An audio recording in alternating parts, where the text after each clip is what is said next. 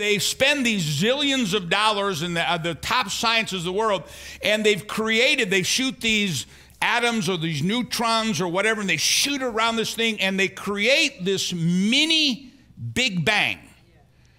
But they said the thing that we have to be honest about is when we do it, and it's the smallest particle possibly seen by man that creates the light and the energy. And in each and every one of them, there's something in the middle that all we can describe it is as a sound. And God said, Let there be light.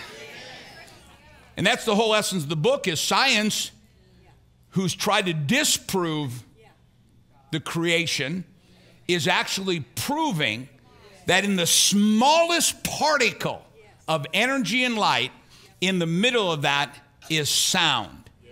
And God said, Let there be light.